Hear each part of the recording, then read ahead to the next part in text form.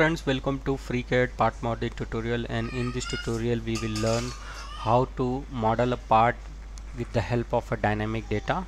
So if you are not aware about the dynamic data add-ons then it is a add-on which can be used in the replacement of a spreadsheet. As we know that we can model our part with the help of a spreadsheet and we can define the our values. But instead of a spreadsheet you can simply use dynamic data to install the dynamic data add-on you have to go to the tools and then add-on manager. On add-on manager you have to search for dynamic data. So just type here dynamic. So you will get here the dynamic data. Just install the add-on and restart your FreeCAD so as I have already installed it. So here is the sketch. Here is the sketch and here is the uh, rough dimension which I have made. And uh, I will show you from the scratch how to use the dynamic data add-on to make your model parametric. And with the help of dynamic data main benefit is that it is very easy to use as compared to spreadsheet. So here is my FreeCAD which is totally blank. So I will go to the file and I will create a new files. So as I'm in a part design workbench we are going to design a part. But before inserting a body in our model tree we have to insert dynamic data. So so make sure that once you install the dynamic data it should be visible. Okay? So I have uh, I will keep it here. Okay? So first I will create object. So once I created the object I will click on the values. So here in a dynamic data you will define the value with respect to length angle area acceleration color direction distance so many things. But uh, with respect to our model we have only length dimensions. So I will select the length and here I will give my first value which is the length 785 total length of the part. So I will give here 785 and I will say apply OK.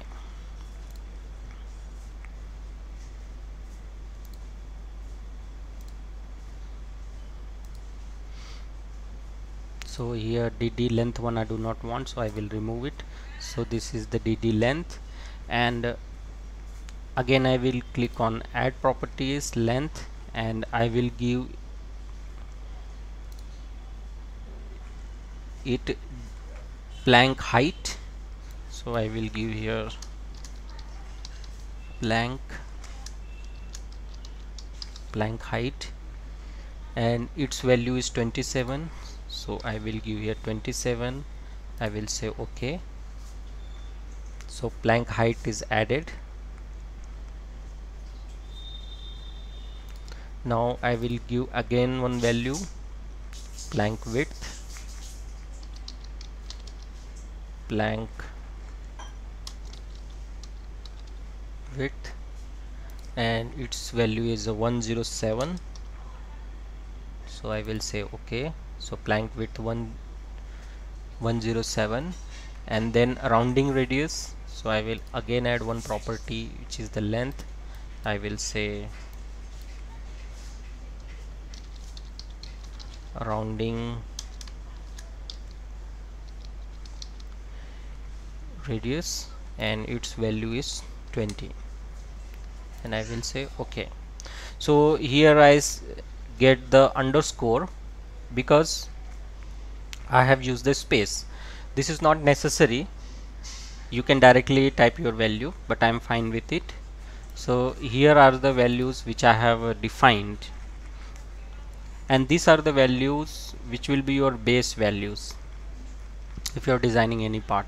So now I have defined the value. Now I will create the body and I will create the sketch. And I will select this YZ plane. And now I will sketch it and I will show you how to link these dimensions.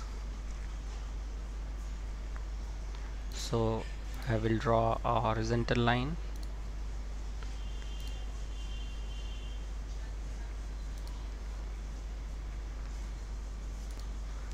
and I will make this sketch as it is. And I will show you how to link the dimensions.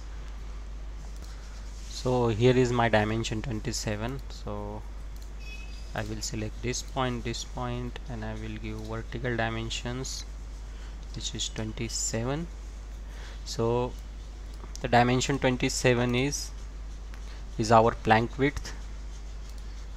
So I will I will double click on dimension and I will go here and I just type dd dot I will say plank. So it is a plank width. So I will say okay. Sorry not plank width. It is plank height. So I will go dd dot plank height and I will say okay. So if you see here it is automatically taken the dimension 27 and I will say okay. Now I will make the center point and this horizontal.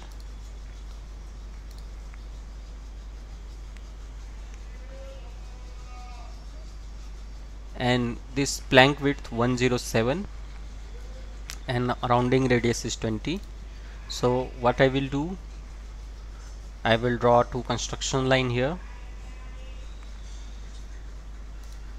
So I will simply draw a line here and a line here.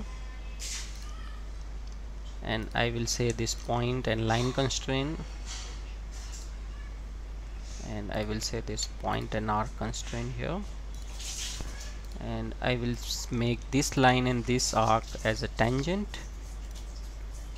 Okay I will make this point and this arc as a tangent.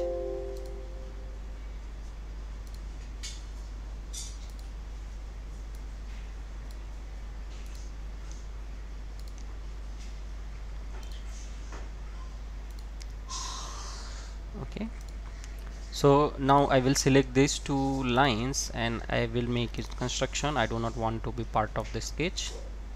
So now I will select these two points and I will say horizontal dimensions and I will give my plank width 107 okay so I will go to the here and uh, I will type dd dot plank plank width. Okay so it is automatically taken the values 107 and from this point to this point I will give again a dimension and I will make it dd dot blank width divided by 2 so okay.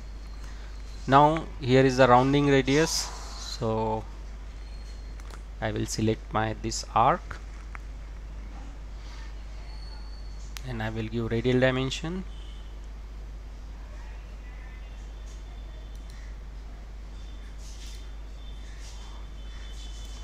So here I will ring the parameters. My rounding radius is 20 to dd dot r.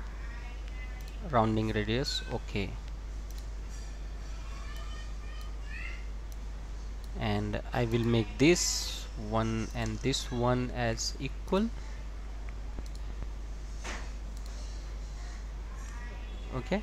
So if you see my sketch is fully constrained.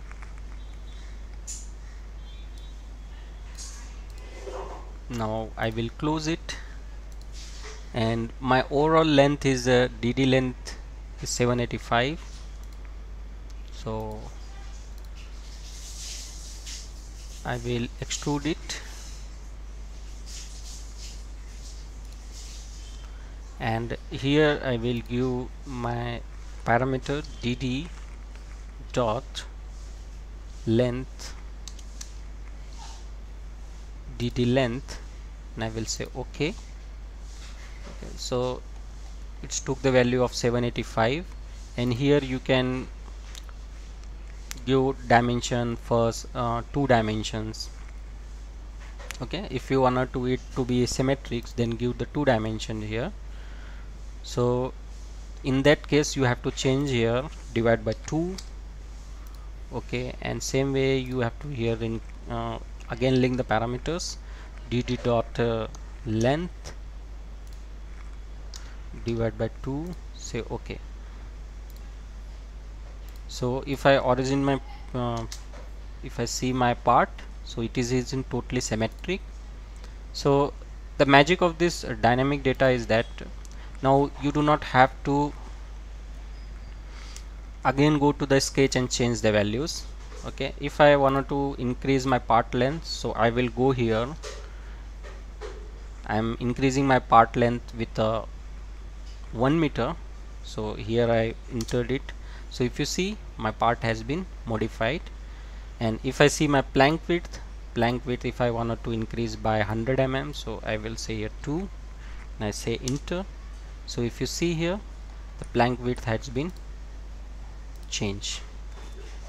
Okay. Now I again if I wanted to change it so again I go to the dynamic data and reduce by 100 mm. So if I enter it so this is modifying perfectly. If I wanted to change the height by 27 to 37 if I say enter so, so if you see height is updating and if I wanted to again my previous value which was 27 so if I so this is the beauty of dynamic data add-on. You do not have to use the spreadsheet to control your dimensions. So this is all about this tutorial and I, I hope you have liked these tutorials. If you like my videos then you can buy a cup of coffee for me and link is given in the video descriptions so this is all about this video. I will come with the next tutorial as soon as possible. Thank you for watching